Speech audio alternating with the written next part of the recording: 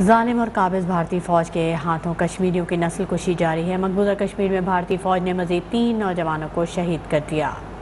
Kashmir media services के मुताबिक काबिज भारतीय फौज ने जिला इस्लामाबाद में सर्च ऑपरेशन के आड़ में एक घर पर अंधाधुंध फायरिंग कर दी। शहीद होने वाले तीनों नौजवान निहत्ते और मकामी कॉलेज में पढ़ते थे।